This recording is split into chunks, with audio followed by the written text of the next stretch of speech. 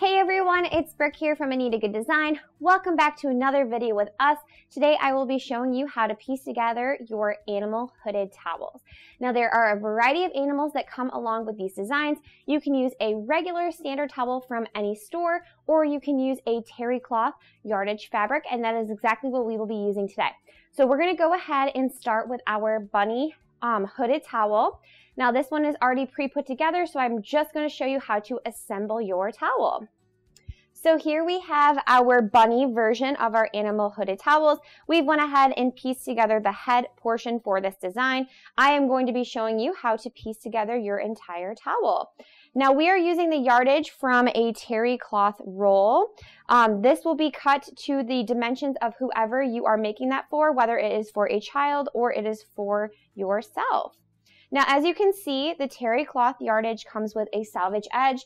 We will be using this as our fancy end for our towel, so there's no need to hem that. I'm going to go ahead and turn my towel here so you can see that we are using the unfinished edge for this project. Now what you need to do is fold your towel in half and we're going to mark the center point. So as you can see here, this would be considered my center point. I'm going to go ahead and put a small notch in that with a pair of scissors. Now I'm going to repeat the same process with my bunny. This will just ensure that our towel head is in the center of our towel. So I'm going to go ahead and fold our bunny in half. And using a pair of scissors again, I am just going to do a small trim just so I know where the halfway point is. You can use your scissors or you can use pins, whichever you prefer to find that center point. Now using the notches that we just created on our towel and our bunny hood, we're gonna go ahead and line those up and pin our hood in place.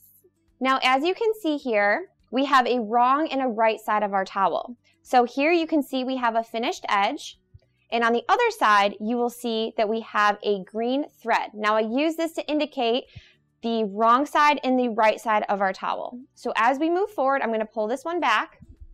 We will be attaching the bunny hood to the right side of the towel, which means we're going to flip this edge up and we're going to align those notches that we just created. Now when pinning your bunny hood in place, you want to make sure that you are not pinning the openings. You want to make sure that's kind of pulled back. Feel free to pin this if desired, but we're going to go ahead and pin along the edge.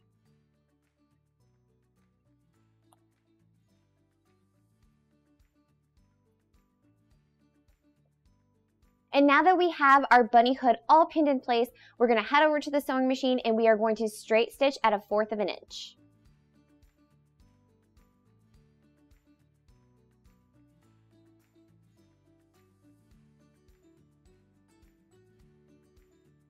Now to finish off our animal hooded towel, we will be creating a French seam. So this means we want a clean finish on the outside of our design and the inside of our design. So as you can see, I have my bunny hood facing the right side of my towel. Now in order to create that French seam, we're gonna go ahead and flip our hood over.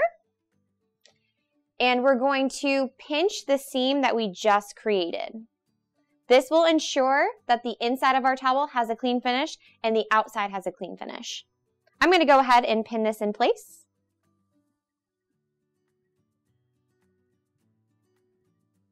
Now the French seam technique is great as it saves you more time. You will not have to use scissors to cut your towel. As you create this French seam, the towel will then curl, creating a double fold. So we are able to combine two steps in one by creating a finished edge and a French seam. Now we will complete our French seam and have a finished edge for our towel.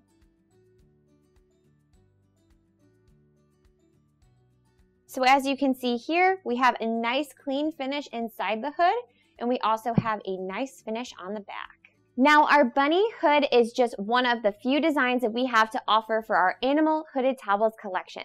I hope you enjoyed this tutorial and I hope that this makes the process much more fun and simple for you along the way. Don't forget to comment down below who you plan on making your animal hooded towel for. And also don't forget to subscribe to our YouTube channel so that you can be notified every time we post. I hope you enjoyed this tutorial with me. Happy sewing!